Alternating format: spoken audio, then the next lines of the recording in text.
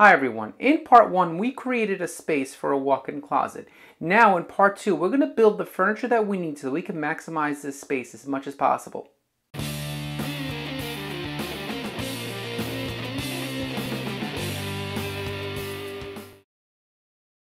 Now that we're back in the shop, we can finally start building these inserts for the closet. And to do that, I'm going to be using mostly 3 quarter inch maple plywood. Um, I'm going to be cutting these down to a more comfortable size and then cutting them down to exact sizes on the table saw. And I am not going to show you too much of the cutting because there is a lot of cutting in this project. If you want to build one of these, I have plans available in my Etsy shop with detailed cut lists to make things a lot easier. Uh, I'll link it in the description so you can check that out.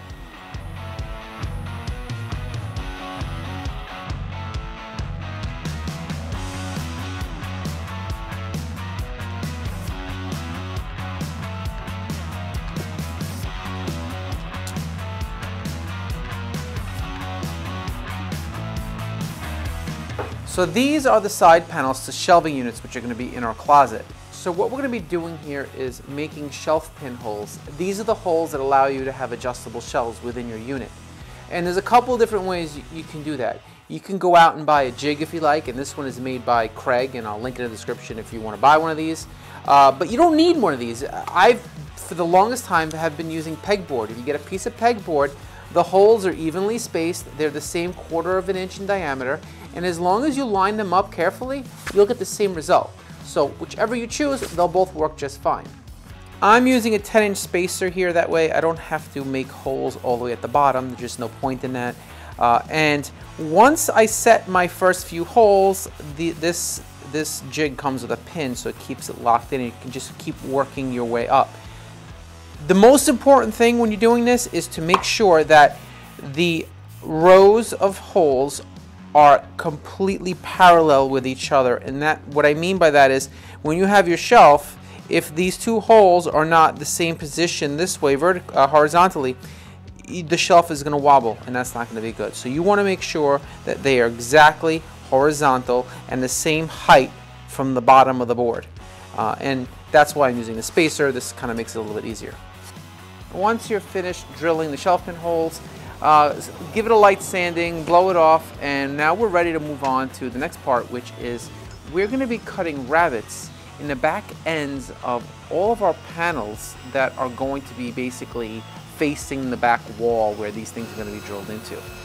The purpose of that is to allow us to be able to install a back panel.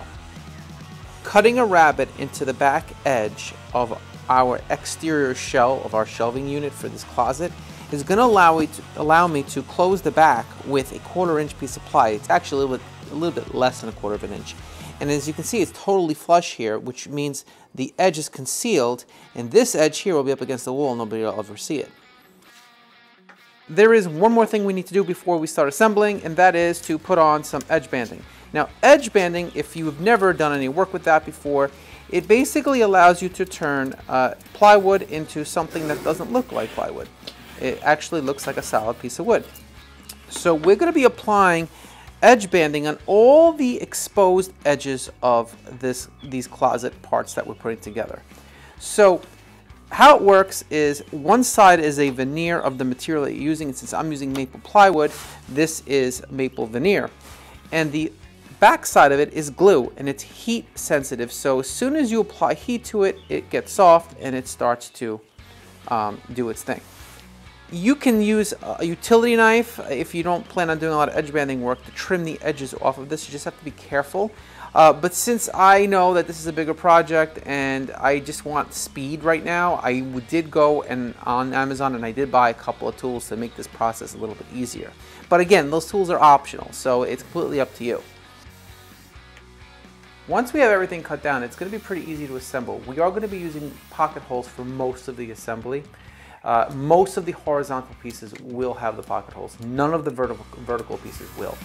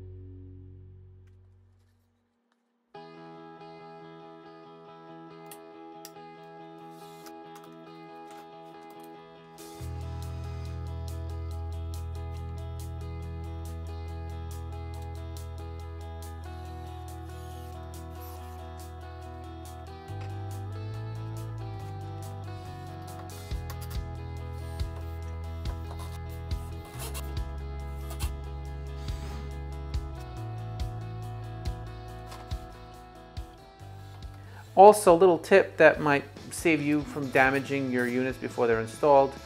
I'm just screwing in a couple of pieces of scrap wood in the bottom. That way I can drag them around the shop and get them out of my way. Uh, as you can see, uh, it's going to be getting a little crowded in here. And I, the last thing I want to do is ruin them before I can get, get actually get to use them.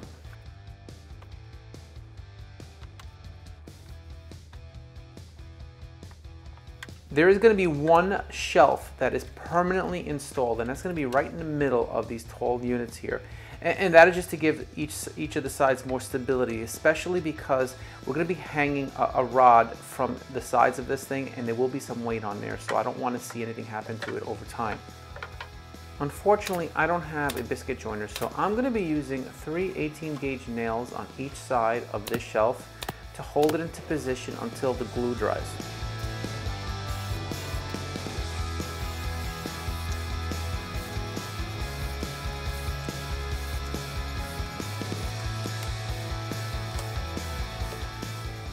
Now there is one more unit left to assemble and that is the piece with the drawers in it.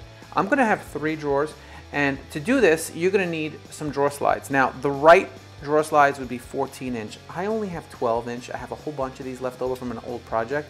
So I'm going to use a 12 inch. If you don't have any drawer slides like this laying around, buy the right ones. You can fit 14 inch drawer slides in, your, in this particular piece here.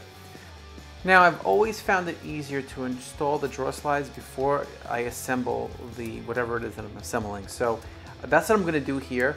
And after I do install them, I'm gonna put some tape over them. That way none of the debris or dust gets in it while I'm still working on this piece.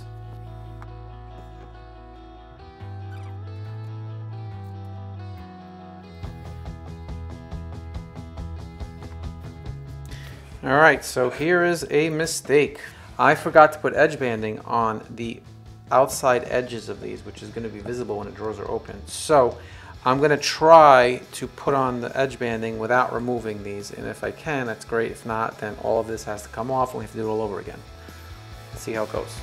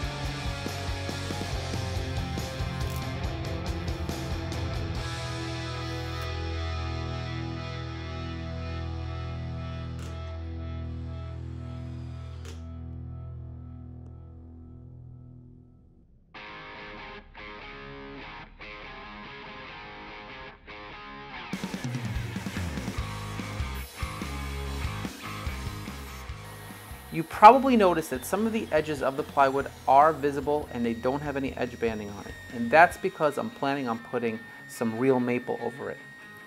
This is my first time using this thickness planer and everything that everybody's ever said about it is true. This thing is awesome. I'm not doing a review on it because there's a lot of them out there and it's just awesome.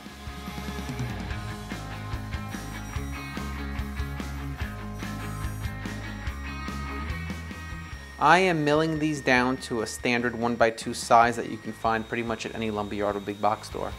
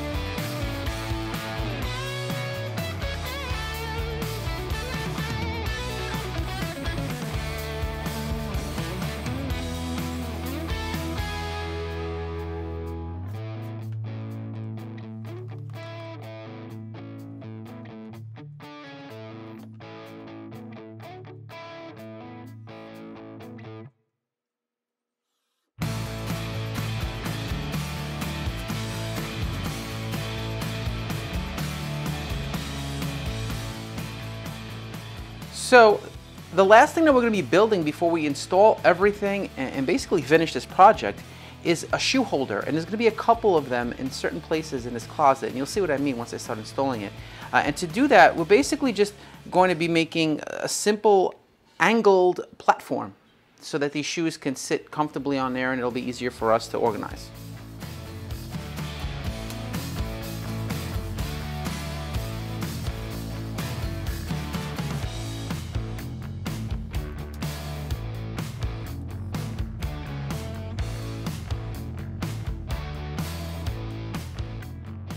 We're back in the closet and before we can install these units, we need to check how level this floor is. And to be honest, I already did and it's really, really bad. It's so bad that we can't just sit them on the floor. So I'll show you what I mean.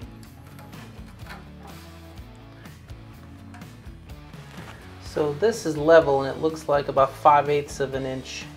And this is not even the full run. This is only six feet of it. So it, as this thing goes further along, the gap widens. So we're to go upstairs and we're to figure out a solution to this problem. The solution to this problem is actually not too complicated. We're to first build a base that all of these units can sit on top of. And before we actually install the units, the base will be put into position and then we can level off the base first and then we'll put the units on top of it and they should be perfect.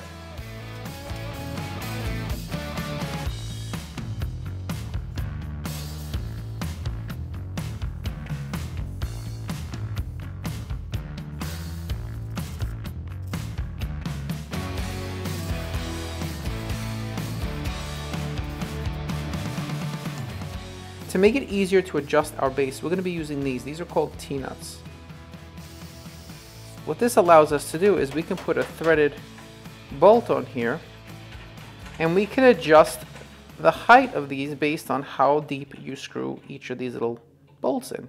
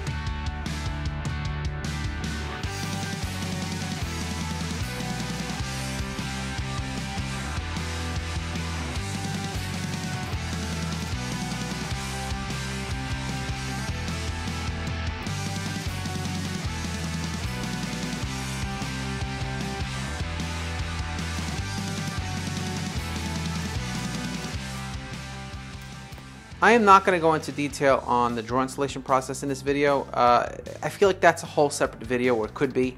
Uh, and there are quite a few of them out there, so if you do need more info on that, you can just do a search, and there's a lot of good stuff out there.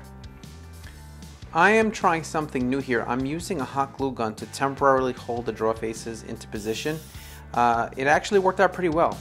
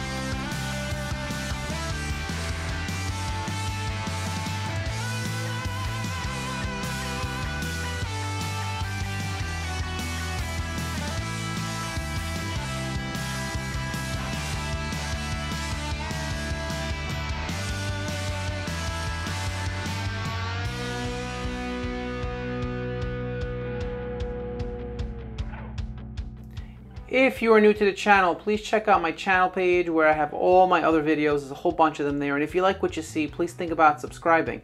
I am also on Instagram, so you can check that out. If you like this video, please give it a thumbs up. And if you have any questions, put those in the comments and I will get back to you as soon as possible. Thank you again for watching, and I will see you in the next one.